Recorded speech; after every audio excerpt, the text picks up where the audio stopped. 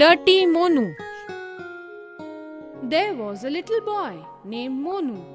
He was very dirty and untidy. Dirty and untidy means he never brushed his teeth, never had a bath, never wore clean clothes.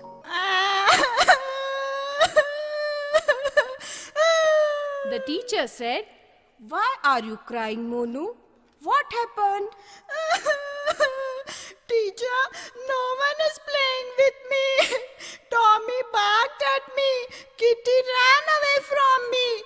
Tanvi also did not give me biscuits.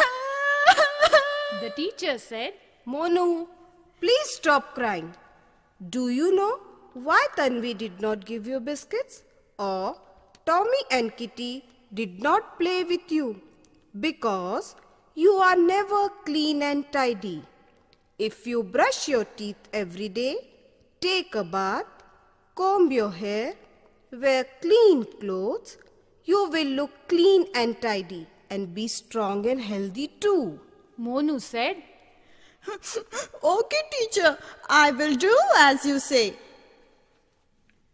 Next day, Monu came to school in a clean uniform and polished shoes, and all his friends greeted him and happily played with him. Monu was also very happy. From that day onwards, Monu was always a clean, neat, and tidy boy.